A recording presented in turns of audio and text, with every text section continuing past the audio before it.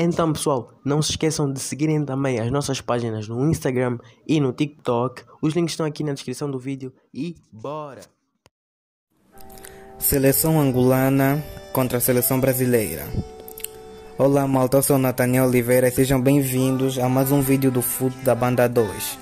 Deixem o like e façam sentir o vosso nome e bora!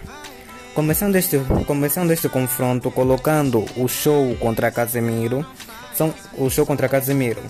São grandes médios defensivos ou volantes e cumprem muito bem o papel defensivo quando o dever chama. Têm grande técnica e são elementos fundamentais nos times deles. E claro que essa o Casemiro vencia. Quem discorda? Porque não, dá para, porque não dá para comparar o show com Casemiro, pelo amor de Deus.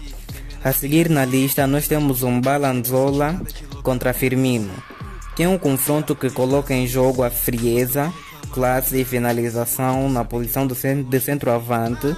De centroavante.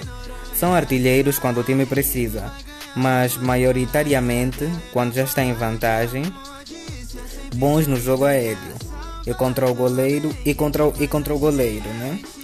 E quem venceria esse assalto? Bom, colocando a classe e técnica e técnica de Firmino contra a frieza força e finalização de Mbalanzola, acho que nem preciso contar. Mbalanzola venceria mesmo sem estar num nível tão alto, apesar, de, apesar do Firmino já ser um ícone no ataque dos Reds. Apesar que atualmente ele não está muito bem, né?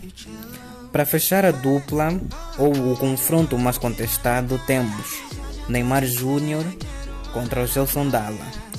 Cá encontramos o camisa 10 da seleção nas costas jogadores muito, muito talentosos que calam muito a crítica e a habilidade de serem ambidestros. Neymar, na, Neymar e Gelson são mais parecidos do que o povo acha.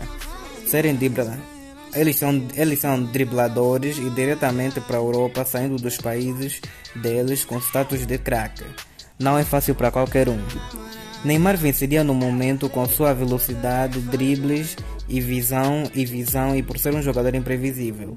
Enquanto o Gelson que enquanto o Gelson que está mais abaixo e é ainda mais novo que Neymar. Possui uma grande velocidade e frieza na possui uma grande velocidade e frieza na frente da baliza e mais resistência em relação ao Neymar no momento, né?